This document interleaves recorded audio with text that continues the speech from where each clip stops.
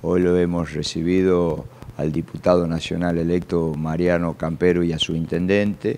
lo hemos recibido a Sebastián Salazar de Bellavista y a su respectiva intendenta, de tal manera que podamos primero conversar cuál es la situación de cada uno de los municipios. Me puse a disposición, los invité para que trabajemos juntos, como lo vamos a hacer con los 18 municipios del interior y como lo vamos a hacer con Rosana Chala en la capital. Es decir, este gobierno de la provincia va a trabajar codo a codo con los 19 intendentes de la provincia y los 93 comisionados comunales de la provincia de Tucumán. Desde los gobiernos locales siempre apostamos a, este diálogo, apostamos a la construcción colectiva y sobre todo ya dejando de lado el proceso electoral y, teniendo una visión del de, eh, norte, ¿no? es decir, de lo que realmente pretendemos en nuestro municipio. Nos hemos comprometido a trabajar en conjunto y también hemos hablado de, del tema de los fondos, de la coparticipación, nos han dado la tranquilidad que vamos a poder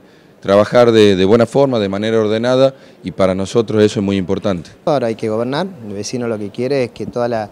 dirigencia en su conjunto y sobre todo aquellos que tienen responsabilidad institucional, el caso de Mariano, de Paula, que,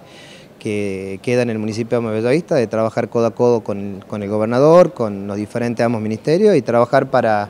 eh, los tucumanos que viven en, en la ciudad de Bellavista. Así que bueno, la verdad que que fue una excelente, una excelente reunión. Este, venimos trabajando eh, desde, la, desde la gestión anterior ya en materia de seguridad, en materia de educación y la verdad que creemos que es necesario aunar esfuerzos con la, con la provincia para poder brindar un mejor servicio a toda la comunidad de Bellavista. Así que yo le quiero agradecer a Mariano Campero, a Sebastián Salazar, a sus respectivos intendentes, que realmente han mostrado esa predisposición de trabajar juntos, de trabajar en equipo, lo que hemos coincidido que las elecciones ya pasaron, las elecciones provinciales, y que la gente, ¿qué espera de nosotros? Que empecemos a llegar con soluciones concretas.